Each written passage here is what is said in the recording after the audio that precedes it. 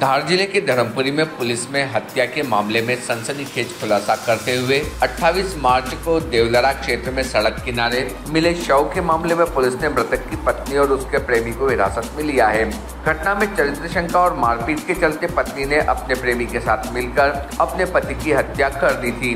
दरअसल 28 मार्च की सुबह चौकीदार और ग्रामीणों की सूचना पर देवलरा फाटे के समीप सड़क किनारे खून से सना हुआ एक अज्ञात युवक का शव पुलिस ने बरामद किया था।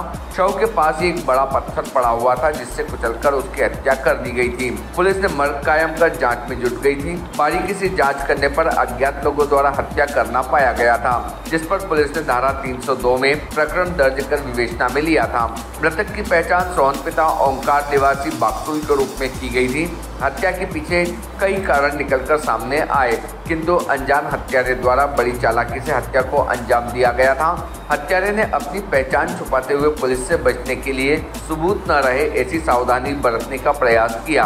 किंतु पुलिस की टीम ने लगातार प्रयास करते हुए हत्यारे तक पहुँच गई। हत्या का खुलासा करते हुए एसडीओपी अंकित सोनी ने बताया कि मृतक की पत्नी ने ही अपने प्रेमी के साथ मिलकर अपने पति की हत्या की थी। पुलिस को शंका होने पर पत्नी की पीडीआर का सत्यापन करते हुए आरोपी शंकर पिता दशरथ डावर, निवासी मनावर से बात करना बार बार पाया गया।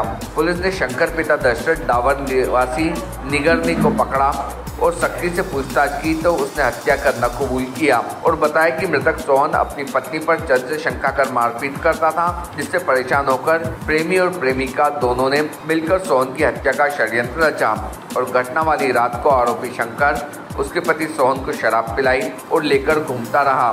टवलाई के समीप खटियापुरा में पत्थर से कुचलकर सोहन की बैरमी से हत्या कर दी।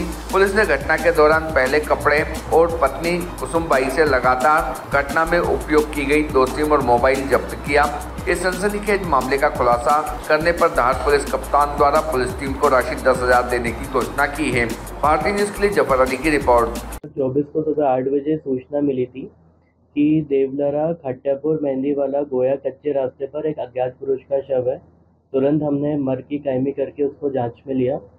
फिर पिछला अभी तक इन्वेस्टिगेशन चलता रहा तो उसमें केस खुल गया और हमको आरोपी का पता चल गया। अब ये पूरा मामला एक प्रेम संबंध का है। जो मृतक है ये जो भी हत्या है उसकी पत्नी और उसके प्रेमी ने मिलकर की थी।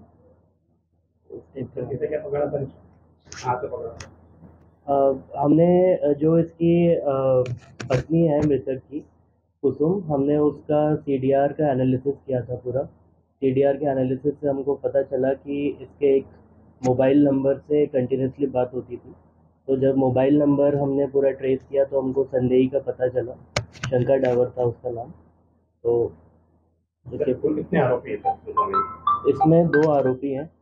एक तो मृतक की पत्नी कुसुम और उसका प्रेमी शंकर ठाकुर।